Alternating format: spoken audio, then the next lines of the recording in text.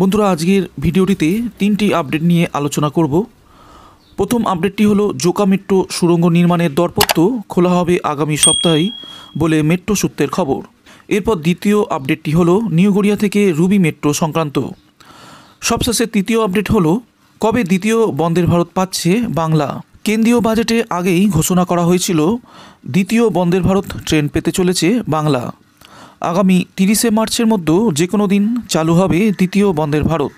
শুক্রবার জলপাইগুড়িতে এমনটাই জানালেন উত্তর পূর্ব সীমান্ত রেলের জেনারেল ম্যানেজার অংশুল গুপ্তা। সব ঠিকঠাক থাকলে খুব শীঘ্রই মালদা থেকে নিউ জলপাইগুড়ি পর্যন্ত চলবে দ্বিতীয় বন্দের ভারত, যার গতি হবে একশো কিলোমিটার।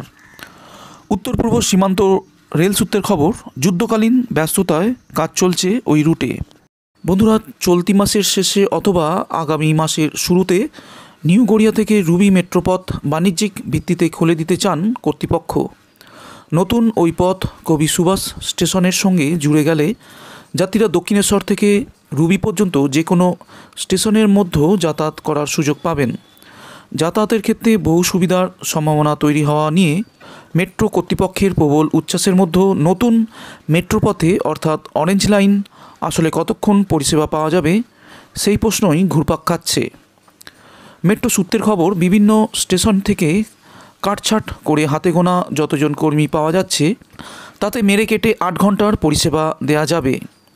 সকাল বা বিকেল যখনই হোক না কেন, একটি শিফটের বেশি আপাতত কর্মী জোগাড় করা সম্ভব নয় বলে মানছেন মেট্রোর কর্তারাই। মেট্রো সূত্রের খবর, জোকা থেকে তারাতলা মেট্রোর ধাঁচেই এই পরিষেবা শুরু হতে পারে। সেক্ষেত্রে সোম থেকে শুক্রবার পর্যন্ত, সপ্তাহে পাঁচ দিন, সকাল দশটা থেকে বিকেল পাঁচটা পর্যন্ত পরিষেবা খোলা থাকবে। জোকা থেকে তারাতলা মেট্রো বেলা বারোটা থেকে তিনটে পর্যন্ত বন্ধ থাকে। নিউ গড়িয়া থেকে রুবি মেট্রোর ক্ষেত্রেও তেমনটাই হতে পারে বলে মেট্রো সূত্রের খবর। বন্ধুরা, জোকা থেকে বিবাদীবাগ মেট্রোর মমিনপুর থেকে এসপ্ল্যানেট পর্যন্ত প্রায় পাঁচ কিলোমিটার পথে সুড়ঙ্গ নির্মাণের জন্য ই দরপত্র খোলার কাজ আগামী সপ্তাহের মঙ্গলবার সম্পন্ন হবে। ওই মেট্রোর দ্বিতীয় পর্বের কাজই হলো ময়দান এলাকায় ভিক্টোরিয়া মেমোরিয়ালের পাশ দিয়ে পার্ক স্ট্রিট ছুঁয়ে এসপ্ল্যানেট পর্যন্ত সুড়ঙ্গ নির্মাণ। দীর্ঘদিন ধরে জমি সংক্রান্ত একাধিক সংস্থার ছাড়পত্রের জটে ওই কাজ থমকে ছিল মমিনপুর ছাড়িয়ে ইকবালপুরের কাছে প্রতিরক্ষা দপ্তরের জমির একাংশ ব্যবহার করা নিয়েও সমস্যা ছিল। পরে কেন্দ্র এবং রাজ্যের যৌথ তৎপরতায় জট কাটে।